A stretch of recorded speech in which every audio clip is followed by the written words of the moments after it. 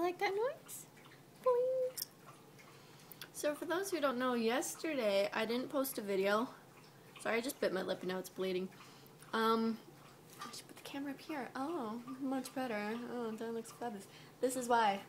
I fucking broke my finger on Thursday, so I couldn't do any recordings and stuff. And it's now Saturday. Um, no, I didn't get an x-ray. I know what happened to it, like, all they can do to it, so I just kind of wrapped it myself. If it gets worse, I'll go see a doctor. Me Too really wants to come say hi. Are you saying hi? He really likes my phone.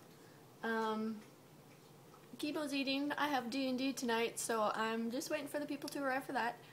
It's really fucking hot. Oh my gosh. Okay, downstairs I've been able to wear a sweater and jeans and be under a blanket because it's freaking cold in the basement. I come upstairs and I'm like shedding clothes everywhere. And I'm regretting having D&D upstairs today, but I didn't clean downstairs, so it's not baby safe. And baby is starting to crawl, so it needs to be baby safe. Ow! What was that for? You want to come up? Come on. Say hi. You just bit my arm, you little tit. Why? Why? Why? He's been a brat lately, but he's getting much better with uh, being my baby bird, so. What's that? Is that you? Is that you? Mm. All the birds outside freaking you out because you're not used to being upstairs?